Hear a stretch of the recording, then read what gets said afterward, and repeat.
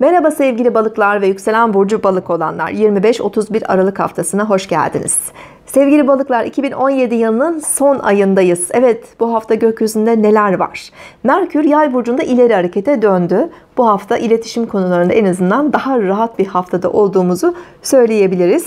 Satürn oğlak burcuna geçiş yaptı. Mars akrep burcunda e, ilerliyor. Sizin için de güzel bir pozisyonda Mars'ın hareketleri. E, bu haftanın hemen başında pazartesi günü Ay sizin burcunuzda hem duygusal olarak hem bedensel olarak hassas başlayabilirsiniz bu haftaya. Duygusal iniş çıkışlarınız da biraz artabilir. Ama salı sabahından itibaren Ay Koç burcuna geçiş yapacak. Bu etkiler biraz daha azalacak. Daha dışa dönük etkiler altında olabilirsiniz.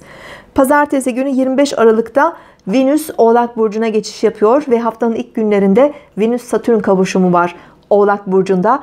Özellikle olgun yaştaki bir arkadaşınız, bir olgun yaştaki bir kadın figür çevrenizde önemli olabilir.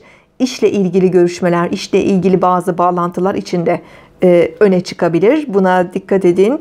E, Salı ve çarşamba günü Ay Koç burcunda parasal e, koşturmalar biraz artıyor e, alışverişler olabilir, harcamalar olabilir. E, çarşamba günü özellikle öğle saatlerinde yapacağınız alışverişlerde daha dikkatli, daha temkinli olun. Çok fazla büyük harcama yapmamaya çalışın. Perşembe günü erken saatlerde Ay Boğa burcuna geçiş yapacak. Bu sizin için daha destekleyici bir e, pozisyon. Perşembe ve Cuma yakın çevreyle ilişkiler, kardeşleriniz, komşularınız, akrabalarınız onlarla bağlantıların arttığını görüyoruz. E, planlar, programlar da yapılabilir tabi. Hafta e, sonunda ise Ay ikizler Burcu'nda bu hafta sonunu evde geçirmek isteyebilirsiniz. E, yılbaşını da yine ev ortamında, aile ortamında, çevrenizde aile üyelerinin olduğu bir ortamda e, geçirmeniz mümkün görünüyor.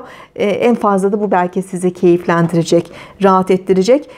Pazar günü özellikle günün erken saatlerinde burcunuzdaki Neptün'ün Merkürle ve Ay ile biraz sert açıları var. Sağlığınıza dikkat edin. Hani sindirim sisteminize dikkat edin. Soğuk algınlığına dikkat edin.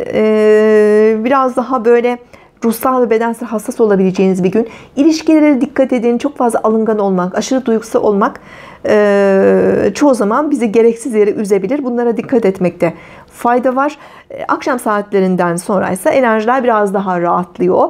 Bu gereksiz melankoli yaratan enerjiler rahatlayacak ve daha keyifli bir ortamda yeni yıla giriş yapabilirsiniz sevgili balıklar. Mutlu bir yıl dilerim. Hoşçakalın.